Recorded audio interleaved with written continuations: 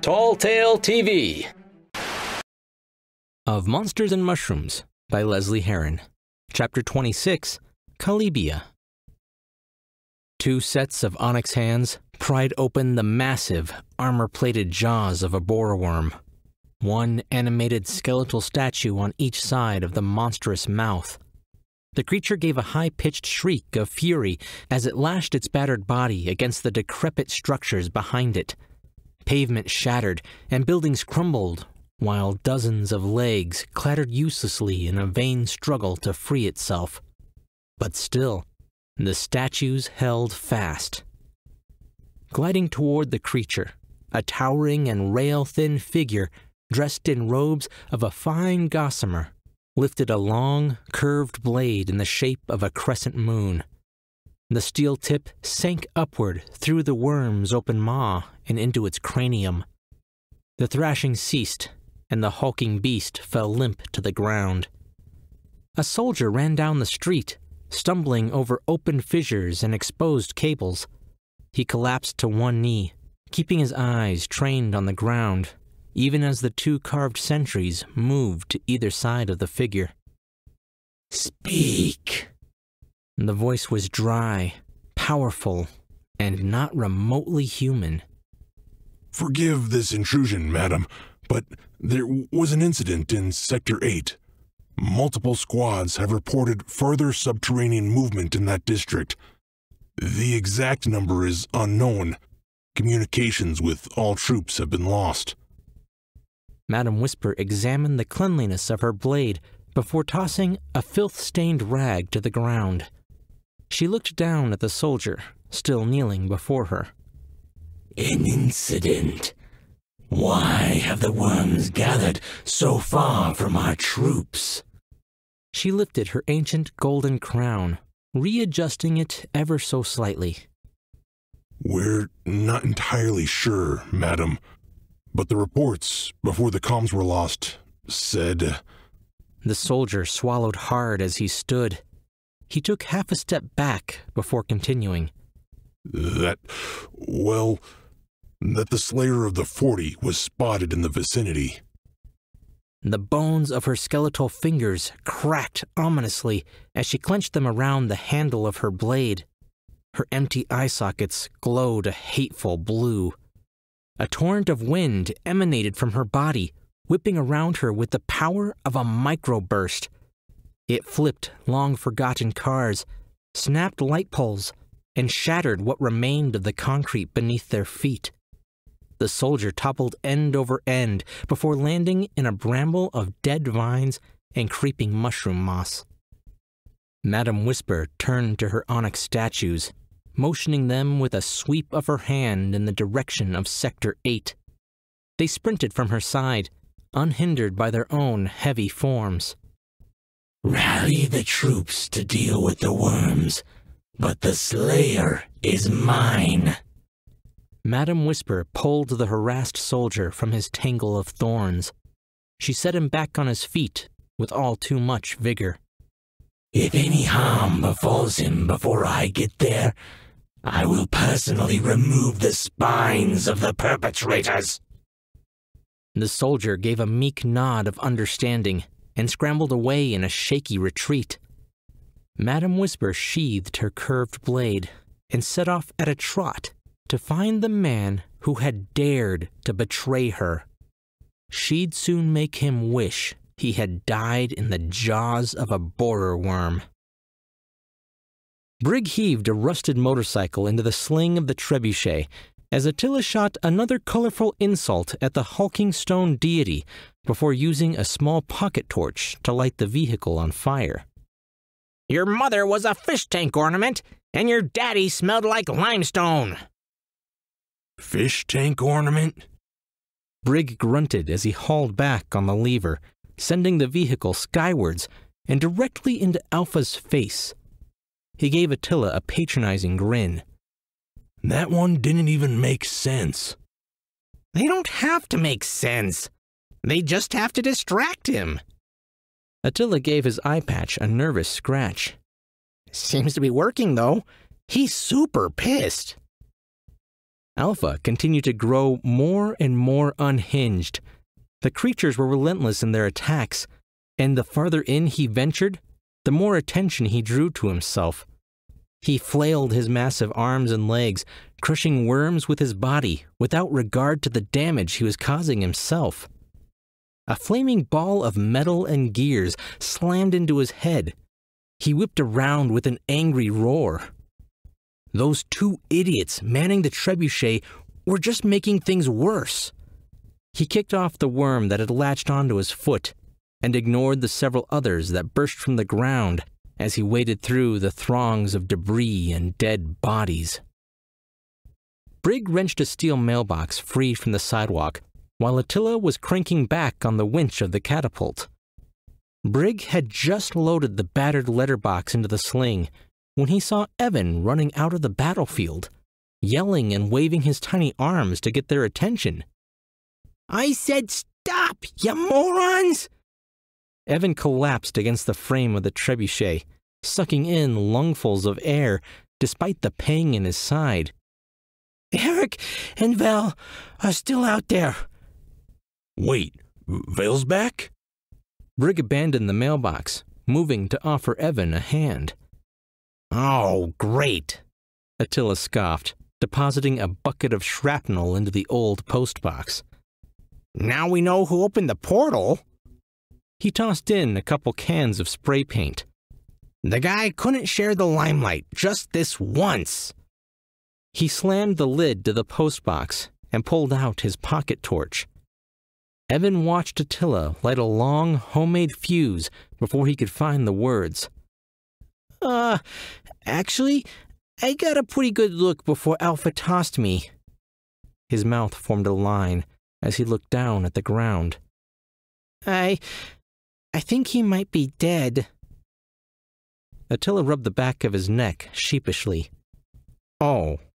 Well, in that case, what I meant to say is. He cranked back on the lever and watched the mailbox sail gloriously through the sky before slamming into Alpha's side. It exploded in a fireball of rusted metal and burning liquid. Knock it off! Briggs slapped him in the back of the head, knocking his hat off. He turned his attention back to Evan. You said Eric's in that mess too? Attila picked up his hat with a nervous chuckle. Sorry. Yeah, last I saw, he was trying not to get trampled by the worms. We gotta get them out of there, guys. They don't stand a chance. Alpha just keeps stirring up more worms. How the hell are we gonna be able to find them and all of that? Brig asked, stroking his mustache in thought. Attila raised a hand. I have an idea. But, well, you might not like this plan. Evan shrugged. Whatever it takes, we gotta hurry. Alpha tore one of the skittering creatures from his chest, gripped it between both hands, and pulled. Its hard armor splintered, as though it were merely made of wood, spilling out its innards in a thick mucus of green ooze into a puddle beneath it. He tossed the dead worm to the ground and looked in the direction of the accursed catapult. Whatever it was they were loading into it, it was small. Ha! Run out of ammo, have you? I will gladly crush your bones to make more fodder. Alpha had barely lifted one of his massive stone arms when the something small zipped past his head. A tiny, high pitched voice screaming as it flew by. Before he could investigate further, there were several more worms struggling with one another for his attention. Evan was careening through the air towards the far side of the park, moving much faster than he had anticipated. When he had agreed to this asinine plan, if you want to call it that, he had assumed the others would be following him back into the destruction. In retrospect, it really shouldn't have come as a surprise when they forced him into the trebuchet with a makeshift parachute, alone. He yanked repeatedly at the frayed strand of twine, the one Attila had assured him would work. I hate this plan! Evan shot as he continued to tug at the string. Panic was overtaking him, and he struggled harder. Work, work, work, damn it! He let out a shout of surprise when the strand finally pulled free. Evan felt a massive tug as two sets of bungee cords snapped tight. Holy crap! He looked up and saw a billowing cut of tattered fabric spread out above him. The faded words, Grand Opening, still clearly visible across it. I can't believe that worked! He turned his attention back to the crumbling cityscape, scanning the terrain for Eric, but was distracted by a small pop in the distance. Evan looked over his shoulder in time to see a smoke trail headed straight for him. Something whistled past him, back in the direction he had come, and slammed into the middle of Alpha's back. There was a sizable explosion on impact, showering the surrounding area with flaming bits of charred worm and molten stone. Evan looked up at the sound of whistling and flapping fabric. There was a flaming hole in his makeshift parachute, and it was quickly growing. I can't believe I thought that'd work. What the hell was that? Attila lifted his eye patch, trying to get a better view of where the rocket had come from. Briggs shrugged. Was it me? It came from over there. Attila pointed across the battle torn park. Troops were spilling out onto the city streets, filling in along the perimeter of the open area. They were organizing into separate groups, some firing round after round of suppressing fire in Alpha's direction. Another group was busy setting up tripod mounted heavy machine guns, and the last group were reloading rocket launchers. Attila smiled as he looked back at his friend. Oh, hey, it's those soldier guys again. You mean the ones who want you dead? Attila gave a nervous chuckle, his smile sliding from his face. Yeah, those ones. Then it's probably not a good thing that I hear marching behind us, is it? Attila turned to see a group of heavily armored troops marching side by side, less than a minute out. How fast can you turn this trebuchet around? With his arms locked around his brother's chest, Eric tugged hard against Vel. But his body was comprised of so many cybernetics and metal plating that he weighed far more than Eric was able to carry. He slumped to the ground, hot tears leaving muddy streaks down his face as he leaned against the dead carcass of a borer worm. His entire life, Vel had been there to protect him when things were at their worst. He was there to save him when Eric got into trouble, or carry him when things got too hard. And now, Eric couldn't even return the favor. He couldn't even drag his brother's body out of harm's way. Explosions and gunfire filled the sky overhead, choking the air with ash and smokes as chunks of stone and exoskeleton rained down around him. Here he was, once again in the middle of a bloody war zone, surrounded by fire and destruction. But this time, his brother lay dead at his feet. He covered his face with his hands and sobbed like a broken child. Eric could hear the clatter of something scrambling over the dead worm he was resting against, but he didn't care. Let it take him, he thought. There you are! Evan slid down the side of the worm. Come on, we gotta get out of here. It's freaking crazy out there. Eric pulled his hands down and offered Evan a sad smile as he gestured to his brother. I was too late. You mean he's dead? Eric nodded. Evan knelt down in the rubble beside Vel. He took a long moment as if composing himself, before he pulled the machete strapped to his back. He flipped it around and placed the handle into the cyborg's remaining hand, closing the fingers around the hilt. Evan let out a heavy sigh as he rearranged Vel's arms across his chest. I never. I never really had any friends. But he was the closest thing to one I ever had. The ground shook as the battle continued to rage on around them. Eric looked down and forced a painful smile. You go.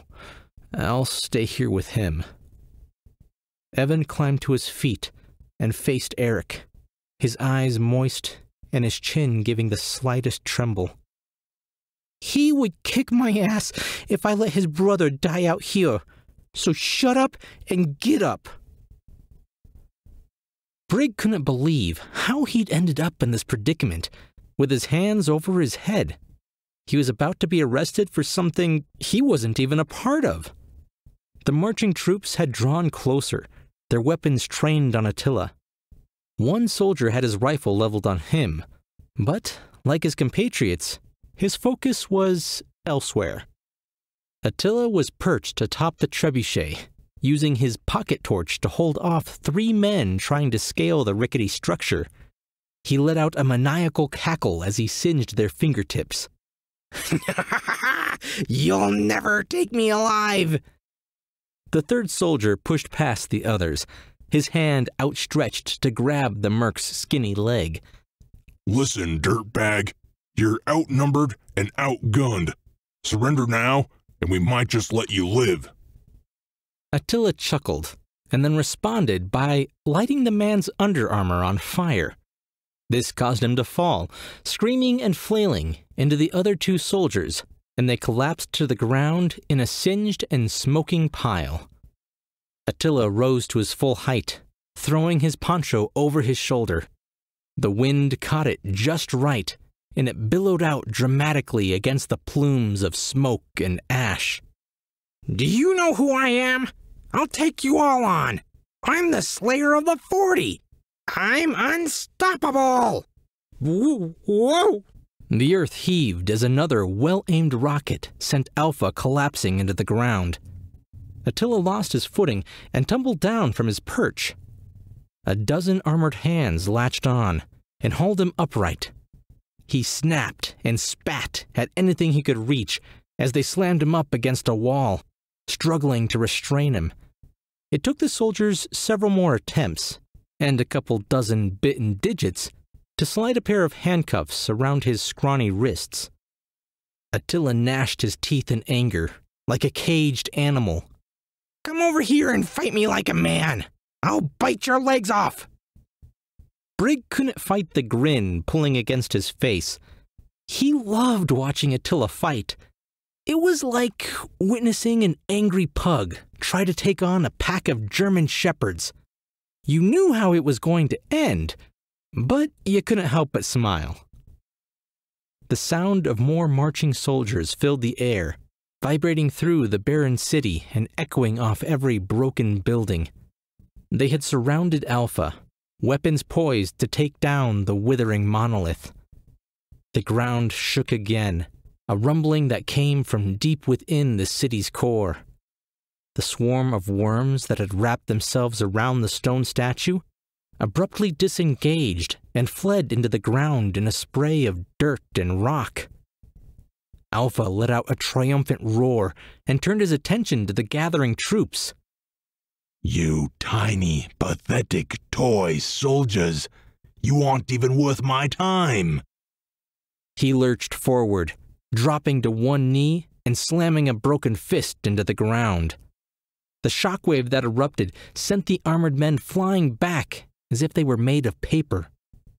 For the first time, Brig could see the damage that Alpha's surrogate body had sustained. Large portions of the stone monolith's surface had been torn away, the inner workings laid bare. Glowing arcs of electricity danced up and down along a tangle of circuitry, gears, pistons, and cables. It was like looking at the exposed steel musculature of a being as infinitely complex as the human body itself. Brig's hands slowly fell back to his sides as he watched the damage to the machine repair itself. Small articulated arms reattached severed connections, reconstructed lost components, and seal exposed areas in tightly coiled bands of metal to replace the once stone surface. It wasn't a speedy process, but it was fast enough to worry him. They would need to take Alpha down all at once. There was another shallow tremble, and the asphalt, mere feet from Alpha, began to splinter.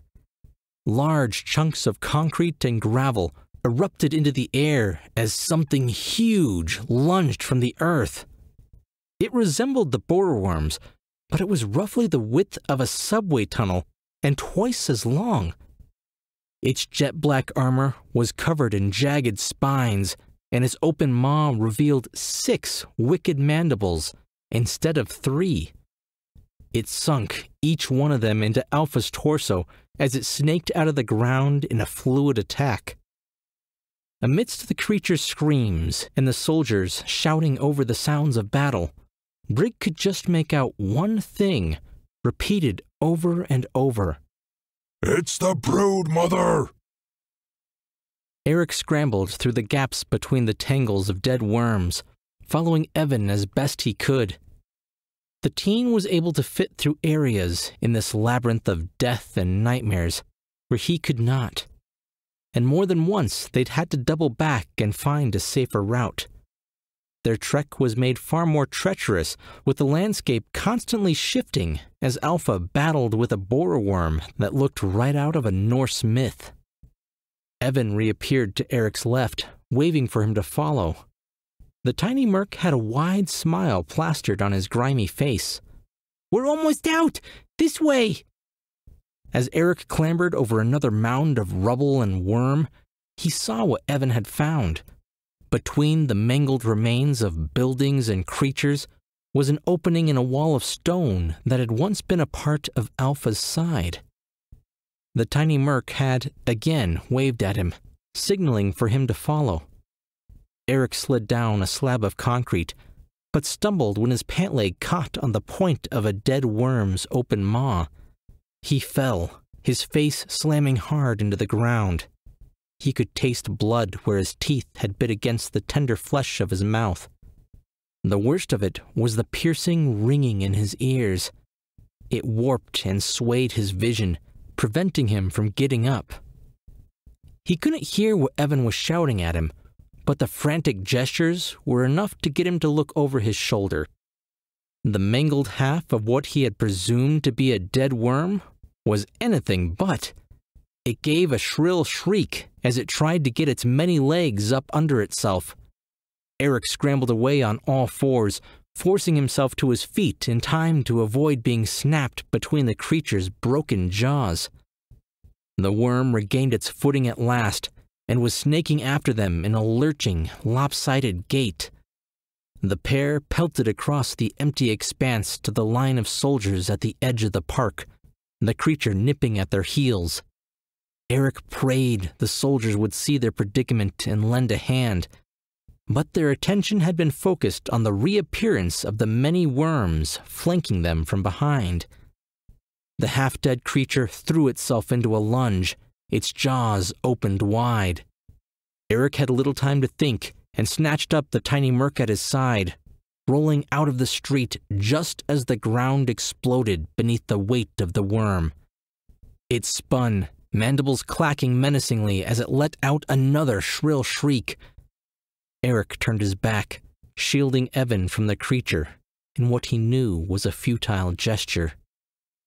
Something large and heavy flew past them, putting itself between them and their impending death. The worm crashed into the figure like a car hitting a brick wall at a hundred miles an hour. The force shattered the worm's armored head a second dark figure stepped in, gripping the side of the creature's now splintered jaw and ripping its face free from its body. Eric kept Evan clutched tight to his chest as he crept slowly away from the spectacle. He had almost cleared the street when an armored boot stepped lazily in his path. He followed the trail of lightly billowing fabrics and glinting ornate armor until his gaze landed on the empty eye sockets of a grinning skull. Madam Whisper tilted her head to the side, an unseen, sinister smile on her words. Hello, servant of the Slayer. We have much to talk about. Brig could do nothing but stand in horror, watching as Alpha fought with the broodmother. Chaos erupted around him as the soldiers laid siege to the massive creature and stone guardian alike. A thunderous crack split the cacophony of destruction. Alpha had managed to lock his hands around two of the giant creature's mandibles, snapping them backwards past their breaking point. The broodmother repaid his gesture with a violent thrash of her body, her jagged spines removing the rest of Alpha's stone facade. The other soldiers didn't seem to notice the screams coming from the edge of the battlefield, but Brig craned his neck to see the cause of the commotion. One by one, worms were appearing behind enemy lines, drawing fire away from their matriarch. Some even threw themselves against the soldiers in a self sacrifice. Others tore them apart a few at a time, but all were causing major casualties. There, down the narrow street their captors had marched down, he could see the beginnings of a fissure forming. Incoming! Behind you! The guard before him shoved the barrel of his rifle into Brig's chest. If I wanted you to speak, I'd tell you to do so. Now shut your mouth. The words had barely left the soldier's lips when the ground split open and a giant worm lunged out from the dust cloud. Brig growled, his temper rising. In one swift movement, he snatched the rifle away from his chest and slammed the butt of it against the guard's face, laying him out cold. He spun the gun around in his hands, took careful aim, and pulled the trigger, just as the creature opened its maw to devour them. Eric couldn't figure out why his words weren't coming out. He sat there, his mouth opening and closing as if he were a fish on dry land. Perhaps it was being in the presence, well, at the edge of a blade, really, of the most ruthless dictator the Underwell had ever known. It appears that servant is broken. Madam Whisper made a grand gesture of sighing, turning her blade on Evan. You speak. What is that thing. She pointed a long, bony finger at Alpha, who was still wrestling with the broodmother. I assume you are responsible for its appearance. Evan swallowed down his fear and nodded. He calls himself Alpha? He's like, I don't know, a giant black goo monster? Madam Whisper lifted her sword away looking down on the tiny creature with mounting curiosity. A transmutational cognizant entity? Evan looked at Eric, who nodded weakly. Well, those were not a big words, but sure. How did it get here? Um, he can hop dimensions? Evan arranged his words to shift the blame away from Eric. Madam Whisper had raised her blade once more, ready to demand the tiny creature clarify, when there was another thunderous crack, this time followed by the roar of victory. Alpha let the broken remains of the broodmother fall to the ground, showering the soldiers and the street in thick green ooze. Madam Whisper turned her gaze to Alpha. He was missing huge chunks of his body, including a sizable portion of his torso and an entire leg. For a giant black goo monster, this creature seems quite solid. That statue is some alien, I, I mean, ancient technology. Eric still hadn't found his tongue but hearing Evan bring up aliens was enough to cause him to grit his teeth. Evan could feel the death glare Eric was giving him. He's basically unstoppable in it. Bolts of electricity discharged from Alpha's wounds, striking the ground like shafts of lightning. The excess energy danced up his body, surging around his joints and coalescing in his single amethyst eye. His gaze moved along the carnage, following the still twitching remains of the broodmother until it landed on Eric. He let out a howl of rage and lunged. Unstoppable. Madam Whisper pointed her blade at the mad god. Challenge accepted. The bullet from Brig's rifle glanced off the worm's armored carapace and ricocheted off into the skyline. He leveled the gun once more, aiming for the creature, but his other hand was holding back the half crazed, still handcuffed Merc.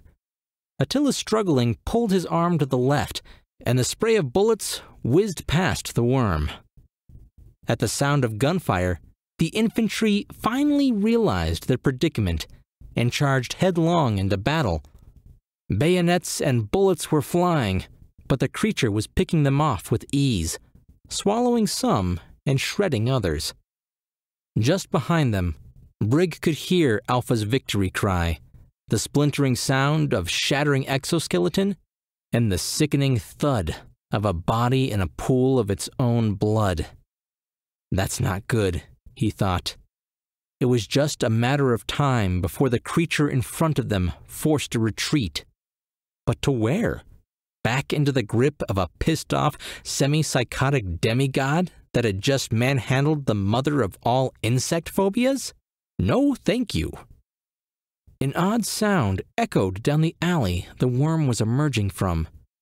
It was like someone was feeding several crushed cars into a giant wood chipper.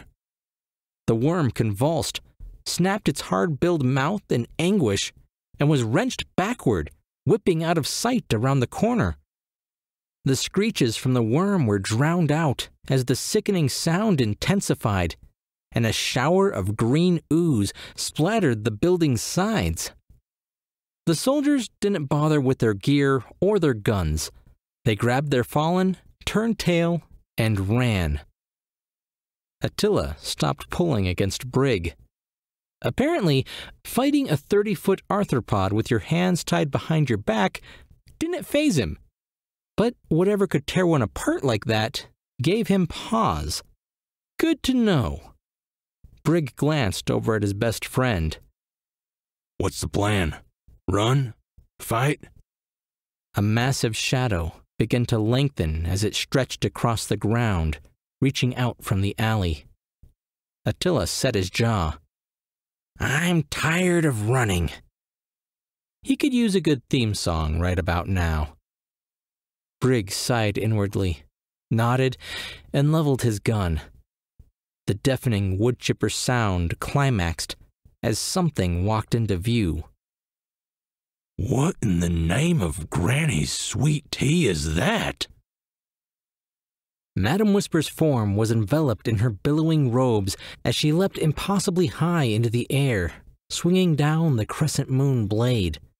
It sank deep into Alpha's forearm as he lifted it to protect his face. Madam Whisper gestured violently in the monolith's direction, and a lance of wind hit him in the chest like a truck. You are not welcome here, abomination. Alpha opened his massive hand to grasp at the tiny creature. My quarrel is not with you. Leave, or you too shall be consumed. Madam Whisper yanked free her sword, dodging the giant appendage. She spun the weapon in her hands and drove it into Alpha's shoulder joint. Return to whence you came, or meet your death upon this battlefield. She wrenched back on her blade, pulling it out like a fishhook, ripping out wires and cables in a shower of sparks. Alpha let out a roar as he swung his arm towards the ground, hoping to squash the armored fool beneath his palm. He felt his fist connect with the street, and he let out a bark of a laugh. But when he pulled his hand away, she wasn't there. Madam Whisper stepped out of the billowing dust clouds as if she were merely exiting an escalator. She glared up at him, the deep black of her eye sockets speaking more of her threat than her words ever could. This is my realm to rule, not yours. Alpha barked another laugh. I care nothing for this realm, save to crush it thoroughly beneath my heel. Begone, little tyrant, and you might just survive. He made to slam her into the ground once more, his hand reaching for her at an alarming speed. Two black shapes barreled into his moving arm, causing the strike not only to miss, but pull Alpha off balance and send him rolling to his side. Madam Whisper cackled with delight as she sank her blade into Alpha's shoulder once more, tearing free even more components with a scrape of metal on metal. The Onyx sentries raised their own swords, plunging them into Alpha's wrist and elbow joints.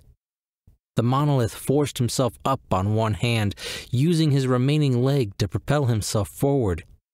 Madam Whisper dodged his clumsy attacks and landed gently on his back, sliding her blade deep into the underside of his shoulder. So be it. With a mighty twist, the statue's arm severed completely, and it fell to the ground with a tumultuous crash. Alpha screamed in pain, twisting and reaching with his other arm. The tiny creature was distracted, and he snatched her up with a growl. His fingers tightened around her thin form like a vice, even as her stone sentries rushed to her aid. They hacked and slashed at his grip, but he refused to relent. Alpha slammed his fist into the ground, shattering the statues beneath his knuckles and breaking the body of the ageless tyrant. He flung her twisted form to the side and hauled himself into the clearing he stumbled into an unsteady gait of half dragging and half crawling. I know you're out there. Cease this ridiculous game of hide and seek. We're not hiding, you worthless pile of landscaping. Alpha turned his head to see Brig, with Attila thrown over his shoulder, perched atop the body of a junkyard machine. It had one hell of a scary defense mechanism, and they were charging straight for him. Trashbot 4000, kill mode activated. Of Monsters and Mushrooms, an ongoing series by Lesley Herron, is a crossover fanfiction mixing her own characters and settings with a few of those created by author J.D. Wiley. She writes for the fun of devising new ways of messing with her characters and seeing just how much trouble they can get into. Well, pepper my rear and call me a gator steak. Would you look at that?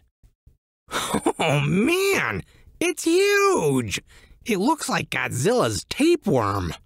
Attila! What? You can't say that. Godzilla is trademarked. Pshaw. What are they gonna do? Shut down the story right before the climax?